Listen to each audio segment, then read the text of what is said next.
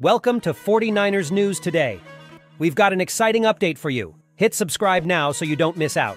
In an uncommonly assertive move, the 49ers proposed a substantial salary reduction to Arik Armstead, who declined and requested his release to explore free agency. The 49ers granted his release, resulting in a savings of $2.2 million against the cap.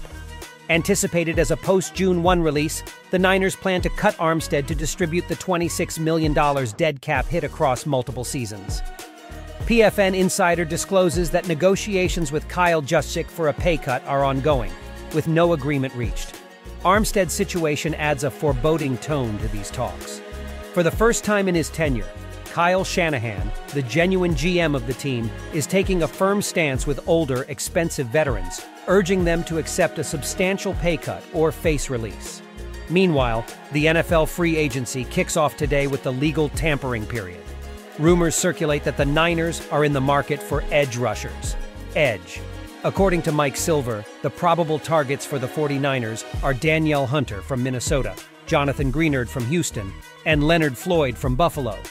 Hunter, at 29, led the group with 16.5 sacks.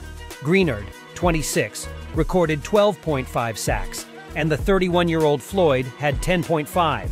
Greenard is also recognized for his sturdy edge setting abilities, ranking in the top 10 at defensive end in both run defense and pass rush win rate. With Jacksonville tagging Josh Allen, Hunter becomes the second ranked edge in free agency, trailing behind Carolina's Brian Burns. Winning a bidding war against teams with more cap room may prove challenging for the Niners. While they can tout title contention, so can Detroit. The 49ers are also monitoring the Chargers, who might release or trade Joey Bosa and Khalil Mack. Bosa has struggled with injuries, while the 33 year old Mack continues to shine with 17 sacks this year. A Chargers reporter suggests that a move to the Niners for Bosa is conceivable. Defensive tackle. Following the signings of Chris Jones and Justin Madubuike, the premier interior defensive lineman on the market is Christian Wilkins from Miami. Detroit, Minnesota, Houston, and Cleveland are reportedly the leading suitors. Rumors suggest Denver is contemplating the release of former 49er DJ Jones. If this happens, the Niners should express interest, as Jones would address a primary need in stopping the run. Jones has a 2024 base salary of $9.5 million, and the extent of the Niners' willingness to spend remains uncertain. While the draft offers promising talent, Jones is a known commodity, especially in this defensive scheme. Linebacker. Dre Greenlaw's injury unexpectedly elevates linebacker to a priority. Although the Niners drafted Jalen Graham and Dee Winters last year, young linebackers across the league typically require a three year learning curve or more before gaining significant playing time. Hence, the Niners urgently need a plug and play veteran. Fortunately, there is a solid group of affordable free agents available. Some hope the 49ers bring back Aziz Al-Shaair, but he expresses a preference for remaining in Tennessee or rejoining DeMeco Ryans in Houston. The Niners are unlikely to have the necessary cap space to compete for Al-Shaair, now a top 10 linebacker statistically. The Niners are rumored to be interested in Tampa Bay linebacker Lavonte David. Despite being 34, David had a commendable year leading the Bucs in tackles with 134, along with 4.5 sacks and 5 passes defended. Other free agents include Houston's Blake Cashman, the league's premier pass coverage linebacker, and Kansas City's Drue Tranquill, who performed well in the playoffs. However, both are seeking long term deals, and the Niners prefer a one year investment, explaining the interest in David. The Niners have identified promising draft fits for their linebacker scheme, engaging in discussions with North Carolina's Cedric Gray.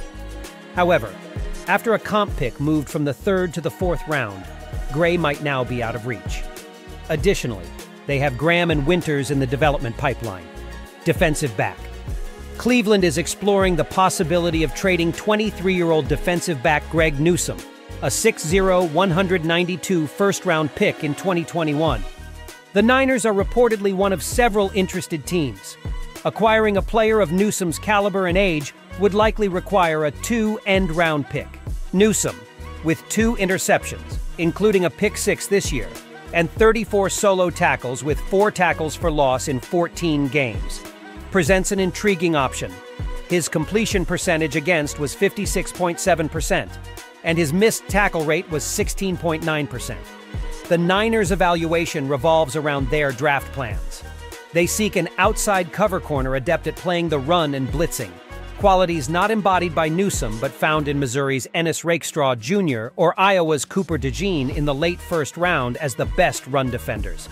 Alabama's Kool-Aid McKinstry excels in coverage, and Notre Dame's Cam Hart is a cover run D player in the third round. Newsome represents better value than the 63rd pick in this draft, but if the Niners plan on selecting a defensive back in the first three rounds, they may pass. Offensive line. An acute need, but the Niners are reluctant to spend on the offensive line in free agency unless it's relatively inexpensive.